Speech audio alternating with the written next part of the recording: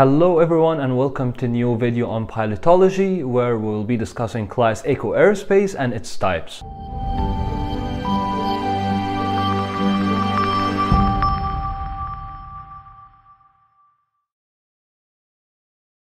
Class Echo Airspace, it's uh, actually very interesting airspace and as its name implies, Class E. Many people will call it Class Everywhere Airspace. Why it is everywhere? Because Class Echo Airspace is designed to be a controlled airspace which is not classified as Class Alpha, Bravo, Charlie or Delta. It is a way that the ATC can still control you even though you're outside of Alpha, Bravo, Charlie, Delta.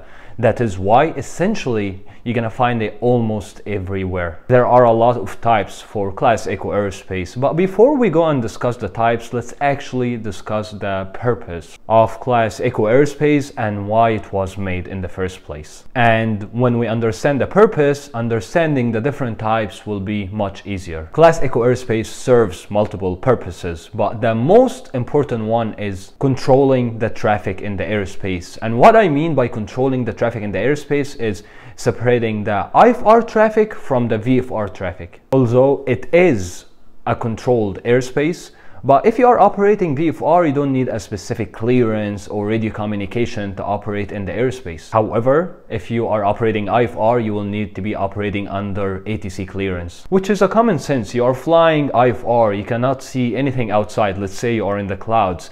You need to be talking to someone to make sure you do not get too close to the VFR traffic. And the VFR traffic as well need to maintain specific visibility and cloud clearance to make sure they can see and avoid you as well because you cannot see them. And this is why Rally Class Echo was created. There has to be a way for the ATC to give pilots instructions outside of Alpha, Bravo, Charlie, Delta, and the pilots have to comply. Otherwise, outside of Alpha, Bravo, Charlie, Delta, everywhere will be Class Golf. Class Golf is uncontrolled airspace. The ATC has no authority or responsibility to control the traffic in this airspace. Think about it like the police department. The police department needs to offer help and maintain order not only in the police station or the government buildings, but outside everywhere else in the state. So you're able to call them, let's say someone breaks into your home, so you call the police, or let's say you are on the highway in the middle of nowhere, your car breaks and you need some assistance, the police will be able to come and offer their services. Same concept in Class Echo Airspace. The ATC has to be able to give you instructions and you must comply, which they are not able to do in Class Golf.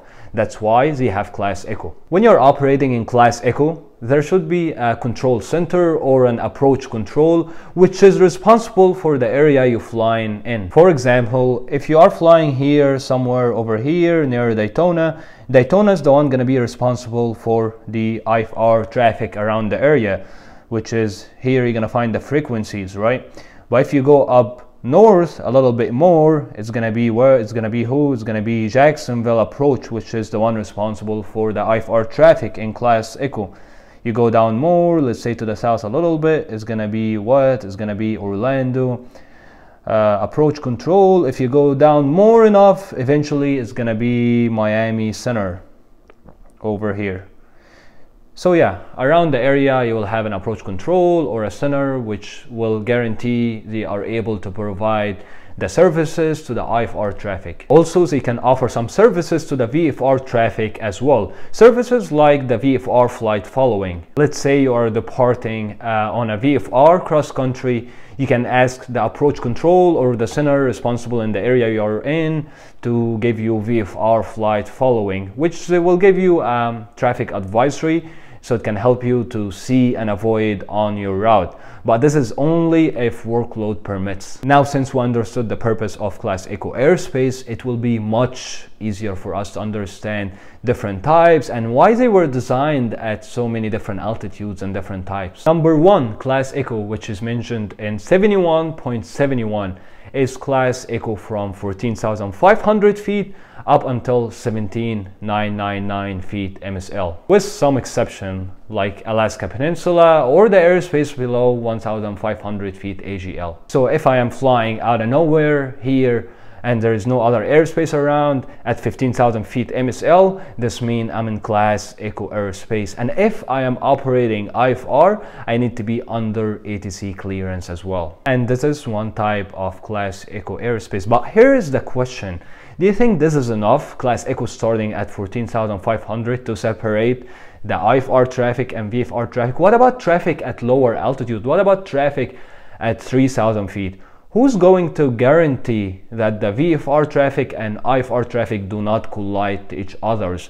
That is why we'll have the other types of class echo airspace, which will guarantee almost everywhere, which is not Alpha, Bravo, Charlie, Delta, will have class echo at specific altitude to control the area. The second type we have is the Federal Airways, Victor Airways, and those who are working on instrument or are instrument rated pilots know what I'm talking about. Airways are like highways in the sky, which allows IFR pilots to go from point A to B. And as those airways are expected to have more IFR traffic, it's obvious that they make it class echo airspace so they are able to control it better. Airways extends 4 miles from both sides of the center line. So 4 miles to the left, 4 miles to the right. And it is considered the class echo airspace starting from 1200 feet AGL all the way up to 17999 feet MSL. And you notice here we keep saying 17999 feet MSL. Why? Because we know class alpha goes from 18,000 feet all the way up to flight level 600. Above flight level 600, it is class echo airspace again. This is bring us to our third type of class echo airspace, which is class echo airspace above flight level 600. So you see what is being done here. More and more we're covering different types of class echo airspace, which allows ATC to control an airspace which is not considered Alpha, Bravo, Charlie, Delta. Number four, transition areas. The magenta circle we have over here, which is fuzzy on the inside, are considered class echo airspace starting at 700 feet AGL. So if I'm flying inside the circle, class echo no longer start at 14,500. Class echo starts at 700 feet AGL and it goes all the way up to the overlying airspace. So if I'm flying over here inside the circle, I will be in class echo starting from 700 feet AGL and in this case all the way up to the overlying airspace which is in this case class alpha or if I'm over here under the Bravo and I'm flying inside the transition area it will be class echo starting at 700 feet AGL, but only going up to where class Bravo starts, which is in this scenario, it starts at 6,000 and goes all the way up to 10,000 class Bravo airspace. After 10,000, it will be class echo airspace again, all the way up to 17,999 feet MSL, and we're gonna be covering why later in the video in a minute. IFR traffic doing instrument approaches to an airport, the ATC wants to be able to control them all the way down to 700. But also, ATC wants the VFR traffic to have more strict visibility and cloud clearance requirements to be able to see and avoid the IFR traffic better. So let's say you are an IFR traffic which is flying an approach to an airport and you are descending from 1000 feet AGL. Let's say at this altitude, if it was class Golf airspace, cloud clearance and the visibility requirement at daytime for VFR pilots are one statute mile and just clear of clouds. However, by putting the transition area and making it class echo airspace, now the cloud clearance and the visibility requirements are 3 statute mile, 500 below, 1000 above, 2000 horizontal, and we know this. So now the VFR traffic have more strict requirements and now they are able to see you and avoid you better like I said. Also, the ATC is able to control you and give you instructions all the way down to 700 and is able to get you out of the VFR traffic way. This is basically what Class Echo does here. Below 700 feet AGL, it will become Class Golf if there is no other airspaces in the area. And the transition area does not have to be a circle. It can take different shapes like we see here. This shape probably designed to control the approaches and the departure of the IFR traffic to an airport. Or it can take a much uh, different shape but it is considered a transition area and it's often surrounds an airport. Number five is class echo starting at the surface depicted as a dashed magenta and this is how it looks. Basically it is the same purpose as the transition area but now the ATC is able to control you all the way down to the surface instead of just 700 feet AGL. And it also offers better services for the pilots. What do I mean? Airports in Class Echo, starting at the surface, are required to have weather station and an ability for pilots to contact ATC from the ground. So it gives better services and coverage for pilots as well. So we covered five types of Class Echo airspace and still we did not answer the question.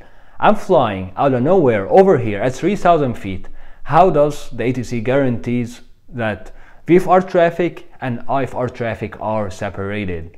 The trick is here in number 6 class echo airspace which is class echo airspace starting at 1200 feet AGL and this is mainly why it's called class everywhere airspace. If we go to the sectional chart legend to look for class echo starting at 1200 feet AGL this is how it looks like uh, shaded blue or fuzzy on the inside just like the transition area but it's blue instead. And here where it becomes tricky. If I go ahead and look at my sectional chart I try to look for this shape. Where is it? I cannot find it. So I'm scrolling scrolling scrolling looking for it looking for it. It is not there. I cannot find it so where does class echo starts at 1200 feet then? I kept looking and I finally found it. Here is it. This is how it looks like. But what do you find weird in this shape? What's different here? So if we compare it to the transition area, we say transition area is a magenta and it's gonna look fuzzy on the inside. But what is different here?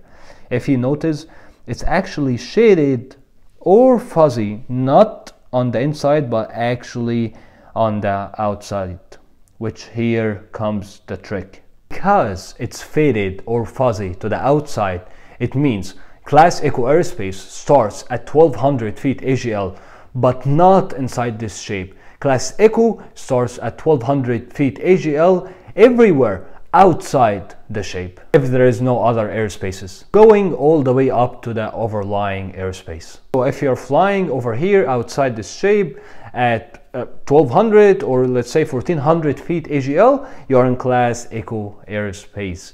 Inside it it's normal. What's normal? Remember the first type of class echo airspace we discussed which is class echo going from 14,500 feet up until 17,999 feet MSL Inside this shape, it will be like this class echo starting at 14,500 going to 17,999 feet MSL.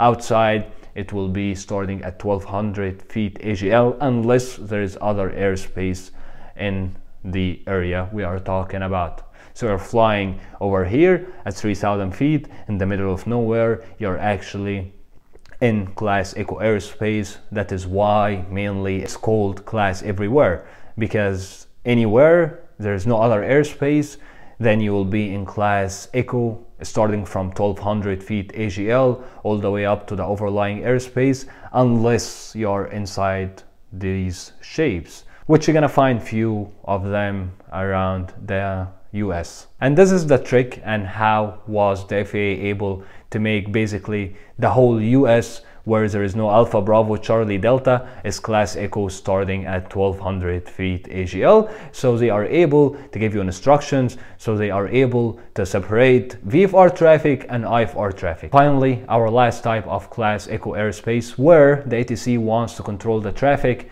beyond 12 nautical mile offshore. This is how it looks like and it extends from the specific altitude it's in here up until 17999 feet MSL. So in this area it starts from 1300 and it goes all the way up to 17999 but after here in this area it extends from 2700 feet and it goes all the way up to 17999 feet MSL. Finally we're done with different types of class echo airspace.